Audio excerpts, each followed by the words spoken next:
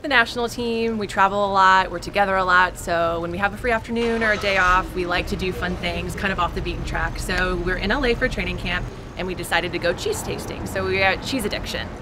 Yes. And we all also would like to say we had a minor disagreement about cheese. I kicked Rachel in the face. So if you notice her her blue nose, it's because I said cheese is the most amazing thing in the world, and she said no, world peace is probably the most amazing thing. So minor disagreement, but so Carly was trying to be uh, tricky at practice, did a little bit of a high kick, in my opinion. I was trying to head the same ball, and basically, I got kicked in the face. So, tried to cover it up for you guys so I looked really nice, but I think you can still kind of see the black and blue a little. But that's not going to stop me from cheese tasting because I love cheese. we don't need to smell it. We just need to taste it.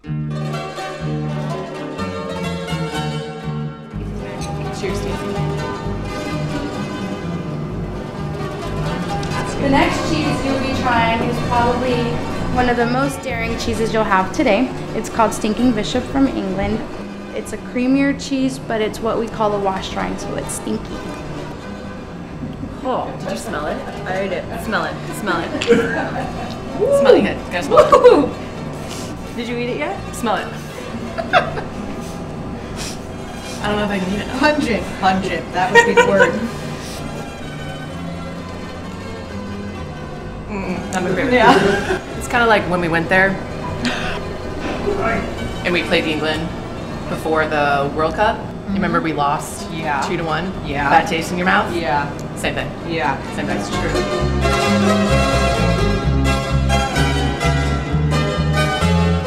It says 10 weeks old. Is that is that old?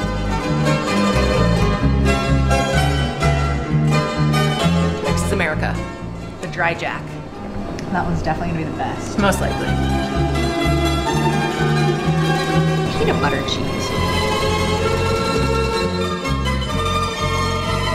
I'm gonna go out on a limb here and compare it to the actual Australian national team that we play against. it is very bold and brazen. It's like a little Lisa De Vanna in a cheese form. It's very good. Norway, skål, creamy. It's good. This is like candy cheese, it sounds like. Caramel cheese. Those Norwegians, genius. I will. I like blue cheese. I will eat almost everything, but blue cheese is one of those things that like You don't like when people cheese? ask what you don't like, I say blue cheese. Did you eat it yet? No, I'm waiting for you. Hold on. I'm I'd rather- I'm going for it big time. I I got a big moldy piece right here. Yeah, I still don't like blue cheese. I think my favorite cheese of the day was the baked ricotta because it was unlike anything I've ever tasted. You know, it was creamy, light, uh, lemony. I felt like I was eating a piece of cake. I'm not kidding. I can certainly tell you which ones weren't my favorite.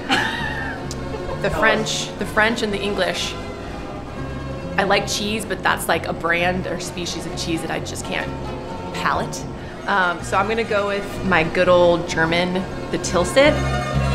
That's it from Cheese Addiction here in Long Beach. Um, it was a wonderful experience for us, but now we've got to brainstorm what we're gonna do next.